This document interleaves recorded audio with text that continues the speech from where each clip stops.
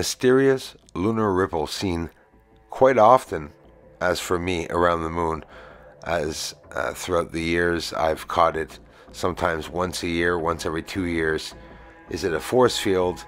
Is it something coming from something further out in space, like a fast radio burst, an event like two neutron stars colliding, Betelgeuse, a supernova, supernovae? We don't know, but it's something rare enough to capture, and this is a double lunar wave. But I want to share with you what's on the moon and in the atmosphere, especially hundreds. But on top, we don't see that dark light. So here's a stationary UFO. I'm outside and I ran outside without the tripod as usual because I was noticing the flashes of lights around this object. So this object is stationary, okay? And not only is it going to disappear and go away like you've never seen it before, it's not like a regular satellite moving by. You saw the tree stationary, it's just sitting there. It's impossible. And then it's going to take off like it's doing right now, which I've showed at least four or five times with the infrared and split in two. The tree stationary is just sitting there.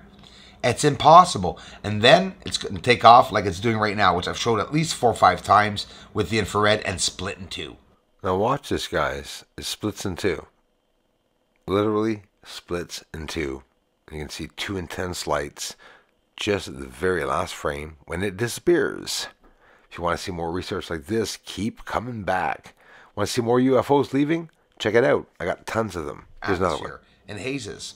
Here's one that was uh, pretty cool. And we'll also see a stationary one too leaving right in front of me. Uh, or did we see that at the beginning? Oh, yes, we, we saw it. Um, wow. So much to see in this video. But check it out. UFOs and satellites are very different. And the UFOs slow down and um, stick around. And look at this one's going to leave, not sideways, but it's going to go out really fast at one point. Now there it goes. We're just going to see it go out. And that's, you know, not seen with the satellites because satellites keep the same trajectory as they're going across the sky and in general the same speed. Here in infrared, we're jumping back and forth, sorry, or maybe some of you appreciate it, not to get bored with the moon. This is infrared. I'm not bored. Um, something coming into the atmosphere and beside, um, I believe this was what I'm not even sure, Sirius, I believe, I'm not mistaken. And look at that object come in, um, either sublimate. You know, you learn a basic. It's not hard when you uh, study asteroids. Here's Jupiter and uh, an anomaly. You know, um, substances like asteroids, meteors, they sublimate, they change. They go from substance to gas when they go beside the sun. So I don't know. I imagine when they enter atmospheres of these planets or stars, like Jupiter, for example, here, this is a pretty cool anomaly. And you see all the moons around Jupiter, some of them, anyways. So we're just going to get in real um, close to that object because most objects are just flashes, right? So you'll see just a spot.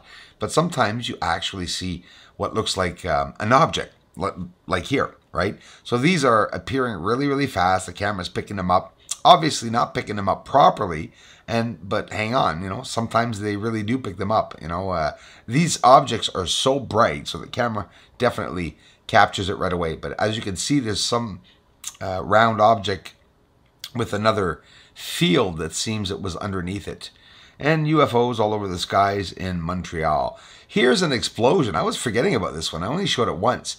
And uh, yeah, it's an explosion out in space further out. I'll get an arrow up and pass it two or three times. I see it well, and you'll see a yellow flash that appears um, in front of this object, directly aligned with this object. Now, don't forget, it seems pretty far out, that object, but oh my goodness, did you see the flash it does in the sky?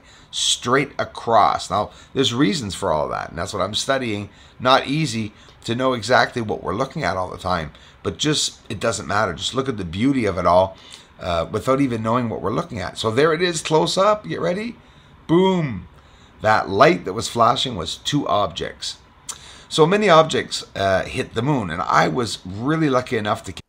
I've been really excited about the Jeremy Corbell's chandelier from the 218 video. I'm anxious for him to show it, if he will at all, if, if he will get the chance.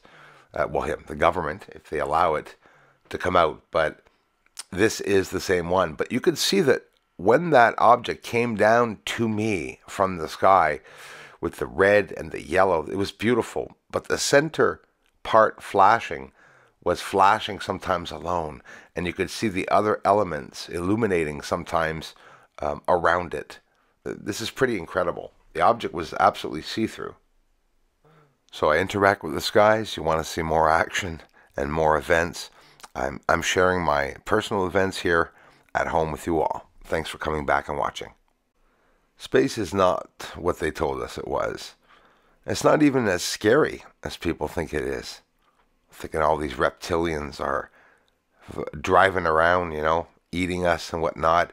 What about these completely beautiful, expanding and contracting jellyfish that are in the lunar atmosphere? I think they're trying to scare people and not tell them the truth. Jeremy Corbell mentioned a jellyfish hours after I posted this and showed people. I showed this three years ago, didn't make much of a stink about it, but I found this three years ago, filmed it three years ago, and there's more and more that I can film in the atmosphere. Want to see more videos like this? Keep supporting the channel. Thank you. It was incredible. Hours after, and I have witnesses, some of you here, after posting the jellyfish video, they came out with the jellyfish UAP, and all news media were talking about that. Was it to uh, deflect what I'm showing? I'm positive it was. And then Jeremy Corbell showed this the chandelier UFO. Well, the chandelier UFO is also the one that I just showed you, pretty sure that landed uh, close to uh, to me and came down 15 feet from me, but I filmed it with the infrared camera, and what you're seeing here is the heat signature image. So more to come.